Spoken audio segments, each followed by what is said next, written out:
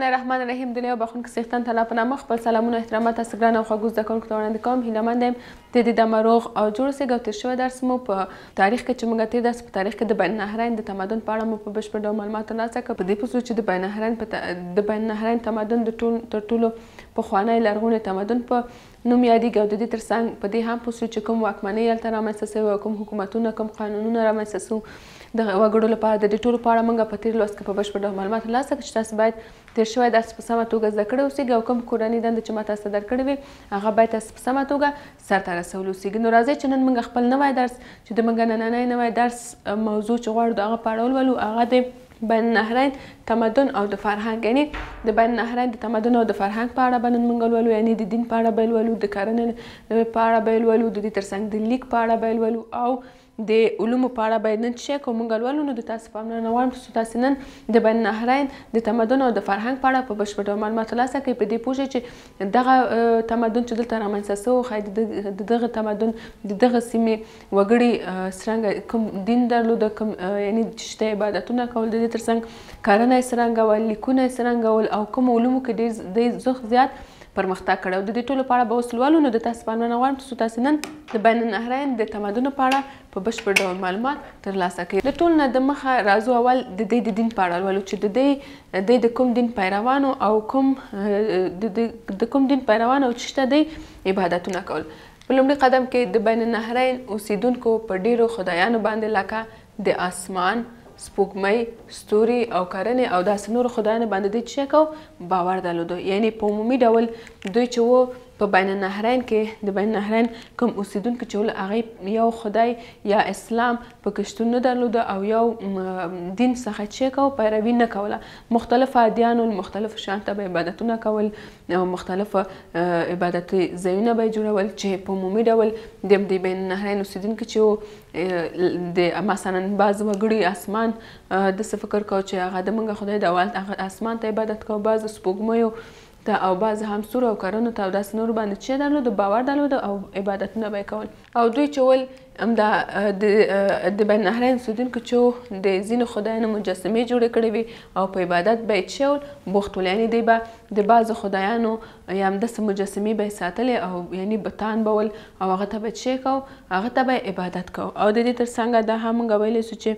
د ښارونو په مرکزونو کې چې کومو غونډۍ ګانې وې د غونډیو په سر به د عبادتونو ځایونه جوړول او هلته به تلل خپل عبادتونه به کول او د دې ترڅنګ دوی چې ول د دې لپاره یعنی د خپل د بین نهرین اوسیدونکو د خپل د خدایانو د خوخه په موخه یعنی د دې لپاره چې د دوی په نظر د دوی په عقیده چې د مونږه خدایان باید یعنی تل خوشاله اوسېږي دغه د خوخه لپاره به بیلابیل مراسمونه او قربانیګانې سره رسول او د دې ترڅنګ مذهبي سرودونه به یو بل سره یو ځای په همدا عبادتي ځایونو کې به ویلې او د دې ترڅنګ دوی په دې باور وو د بین نهرین اوسیدونکو په دې باور چې بعد له مرګ هم الته بل ژوند لرو او هغه ژوند لپاره به د خپل یعنی د د دې لامل دوی بچول لمړو سره به په قبرونو کې یو لړشان شکل ور سره لیکدل لیکدول یعنې دی به داسې فکر کاو چې که چیرې موږ مړه سو نو هلته چې کله چې دی په قبر کې یعنې ږدي نو هلته بیرته را ژوندي کیږي نو همدې لپاره دی به د خپل د مړو سره یو لړ شیان چه کول وړل خو د دې ټولو سره سره بیا د تاریخي روایت او دیني نصوحو له پلوه الله تعالی دلته حضرت ابراهیم علیه السلام ولیږه چې د خلکو د باطلو خدایانو عبادتونو څخه منع کړي یعنې خلک د باطلو او مختلفو خدایانو څخه منع کړي او ددې ترڅنګ دای چه و د دغه او ددې ترڅنګ د واحد خدای عبادت ته یې راوبولي او په دې وخت کې کله چه حضرت ابراهیم علیه السلام د الله تعالی له لوري دغه بین نهرین سیمې ته راولیږول شو ددې لپاره چه خلکو ته هدایت ورکړي او خلک د مختلفو خدایانو د عبادتونو څخه منع کړي په دې وخت کې په ابن بین نهرین کې نمرود پاچا چې بیا نمرود پاچا چې د حضرت ابراهیم علی السلام سره مخامخ سو خو د جر حضرت ابراهیم علی السلام وشو کوله چې خپل دغه سپیڅلی اسلام د فلسطین تر پولو پورې هم چې کوي ورسې او ډیری خلک چې کړل د دنه منع کړل تر څو چې د مختلف عبادتونو او مختلف خدایانو ته عبادت کولو څخه چې کړي منع کړي اوس راځو کرنې ته. راځو د بین النهرین کرنه په څه ډول کوه؟ د دجلې او فرات د اوبو سترو سرچینو شتون د بین النهرین د کرنې پراختیا او د ودې بنسټیزه لامل وو. یعنې خپله همدا د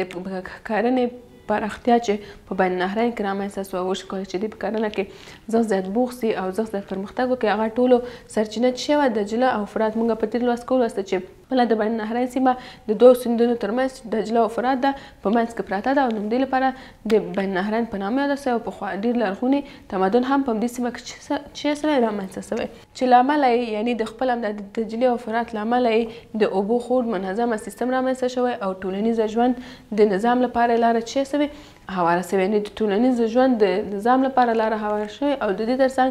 د بین نهرین د غنمو او اوربشو د دې د کرنیزو حاصلاتو له جملې څخه چې کېدل تلل راځو اوس ګرانو زده کوونکو لیک ته چې د دې لیک څه رقم له بین نهرین څخه ډېرې خټینې لوحې ترلاسه شوې دي چې دغه لوحې لرغونتوب تقریبا پنځه زره مخزې د تجشې کېږي رسېږي او د دې ترڅنګ په واقعیت کې موږ ویلی سو چې دا د هغه مهال کتابونه دي یعنی که چیرې موږ د لیک په اړه لولو د بین النهرین په لومړي قدم کې موږ وایو چې بین النهرین څخه ډېرې خټینې لوحې رامنځته سوي دي چې د دغه لوحو قدامت یا لرغونیتوب تقریبا پنځه زره مخزیګ د کلونو ته را رسیږي او دا د ده استازیتوب کوي چې دغه لوحې د همغه بین نهرین د د بین نهرین د کتابونو په حیث چېږېدلې پېژندل کېدلې، له همدې امله موږ ویلی سو چي د نړۍ د ټولو نه لرغونی کتابتون هم په بین النهرین کښي ده شتون لري او ددې تر څنګ په دغه لوحو کي د ښووني او روزني ددې تر څنګ د خدایانو د عبادتونو د حقوقونو په اړه یو لړ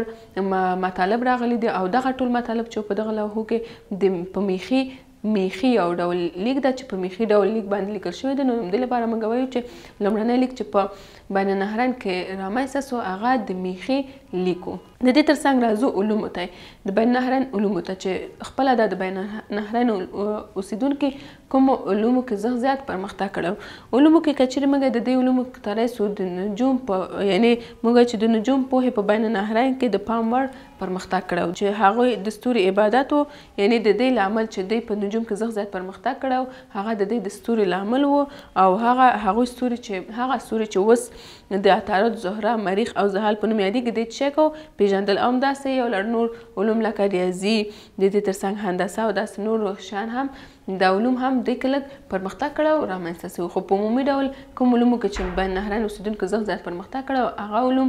د نجوم علوم او لامل هم دا و چې دوی ستورو ته چیک او عبادت کاوه او نن نن ورځنۍ چې نن اوس موږ مثلا دغه ستوري چې د زهرا عطارد زحل او مریخ په نوم دي دغه چې موږ پیژنو دا ټولې هم هغه وخت کې پیژندل شوې وې د دوی لخوا نو ګرانو زده کوونکو دا و د بین النهرین د تمدن او د فرهنګ په اړه چې په عمومي ډول که چېرې تاسو نه د فرهنګ او تمدن په اړه د بین النهرین پوښتنه کېږي په لومړي قدم کې دین ده چې د دې دین څرنګه و موږ ویل چې د دې دین د دې په مختلفو خدایانو باور او عقیده درلودله او وروسته له هغې کرنه وه چې د د دې د کرنې غټرینه لامل د یعنې د پراختیا غټرینه لامل چې زغ زیات د پراختیا او موندل او زغ زیات پرمختګ وکړو او ددې سبب سو چې یو منظمه سیستم رامنځته کړي، د اوبو منظمه سیستم رامنځته کړي او ټولنیز ژوند د نظام لپاره لاره هواره کړه، هغه ټول تیشه او د دجلې او فرات سیندونه ول. بیا ګرانو زده کوونکو لیک ته راغلو چې خپله په بین النهرین کې دغه لرغوني پوهانو چې کوم څیړنې یا تحقیقونه کړي ول یا په اړه یې معلومات ترلاسه کړي او دا یې ترلاسه کړي چې خپله د د بین النهرین څخه ډېرې خټینې لوحې ترلاسه شوې چې تقریبا له لرغونیتوب یې تقریبا پنځه زره مغزي د کال ته چې کېږي رارسېږي او د دې تر څنګ چې په واقعیت کې خپله همدغه لوحې د هغه مهال کتابونه باندې چې کېږي یعنې د هغه مهال کتابونه چې د همدې سره موږ ویلی شو چې د د نړۍ تر ټولو پخوانی کتابتون هم چیرته شتون لري بین النهرین کې چې بیا دغه لوحې چې د مختلفه مطالب مونږ ته را په برخه کړو د مختلف مطالب په اړه معلومات را کړو دا لوحې ټول په میخي لیک باندې لیکل شوی یعنی په عمومي ډول د بین النهرین د سیدونکو لیک څرنګه او میخي لیکو بیا د علومو په اړه مو ویلې چې په علومو کې د نجوم په علومو کې ډیر زیات پرمختګ کړو د دې لپاره چې دی ستورو ته عبادت کو نو د دې په اړه د دې لپاره دی په نجوم کې او یو لړ نورو علومو کې هم چې پرمختګ کړو ښه اوس راځو د دې په اړه چې بابل د لرغونې نړۍ او د نړۍ ستر ښار په حیث پېژندل سوی ده د ده په اړه لولو چې موږ په تېر لوست کې ولوسته چې بابل خپله د په بین النهرین کې چې د یعنی یو سیمه ده چې په بین النهرین کې شتون لري دا د ټولو ډیر لرغونی او ستر ښار ده چې په ټول نړۍ کې زغ زیات شي لري شهرت لري د دې لپاره چې موږ ولې بابل د بین النهرین له لرغونو ښارونو جملې څخه ده او د مورخینو په باور، دغه ښار څلور زره مخزېږده راهیسې شتون لري او د نړۍ لومړنیو ښارونو له جملې څخه چې کېږي شمېرل کېږي. د ده دغه شهرت او لرغونیتوب هم د دې لپاره ده چې په د نړۍ د لومړنیو ښارونو له جملې څخه چې کېږي شمېرل کېږي چې د بابل ښار د لرغونې بابلۍ په واکمنۍ په ځانګړې توګه د حمورابیانو د حمورابي لخوا چې کېدله اداره کېدله چې موږ په تېر لوست کې ولوسته او د دې ترڅنګ د بابل ښار د فرات د سیند په غاړه کې پروت ده کمالته پروت یعنی موقعیت که چیرې تاسو تاسو پوښتنه کوي چې د بابل ښار موقعیت کمالته د تاسو برته چې وي هغه د فرات د سیند په غاړه چې ده پروت ده او پراخه یعنی پراخه ښار د دغه پراخه ښار مساحت تقریبا 500 کیلومتر مربع ته چې سوی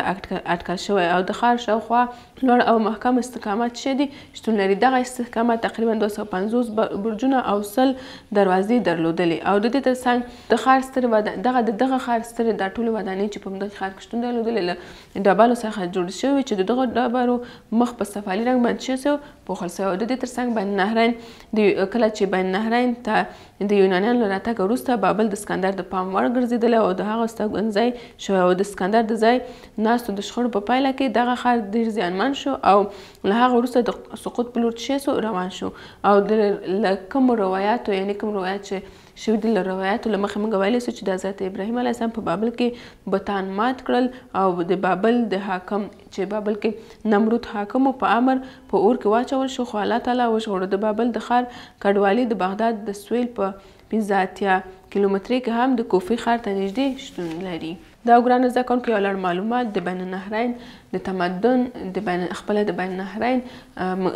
د لرغوني ښار په اړه چې بابل و او په ټوله نړۍ کې څخه زیات شهرت لري د دې لپاره چې په ټوله نړۍ کې لومړنی ښار چې سره شمېرل شوی ده او په عمومي ډول چې چې ډېر په دې ښار کې مهمه دي هغه دا دي چې له روایاتو له نظره موږ ویلی سو چې د حضرت ابراهیم علیه السلام په همدغه سیمه کې په همدغه ځای کې تللی او ټول بتان یې مات کړي وو چې د همغه وخت حاکم چې نمرود و هغه بیا دی اور کا چولی ول الله تعالی چې کړه ژغورلی و او د دې تر څنګ د بابل ښار دغه کنډوالې یا دغه کوم آثار چې اوس تر اوسه پورې موږ ته پاتې دي هغه موږ کولی سو چې د سویل په پنځه اتیا کیلومتري کې د کوفې ښار ته نږدې وګورو او دا د کوفې ښار ته نږدې شتون لري نو د دې سره زموږ درس دلته پای ته رسیږي دا و نننی درس چې ما تاسو ته وړاندې کړ چې تاسو باید نن درس په سمه توګه زده کړی اوسیږي نو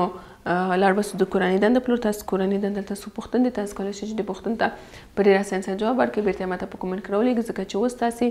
د بین النهرین د تمدن او د فرهنګ په اړه په بشپړ ډول معلومات ترلاسه کړئ نو د پوښتنو ته جواب ورکړئ بېرته یې ماته په کومنټ کې راولېږئ او د دې ترڅنګ خپل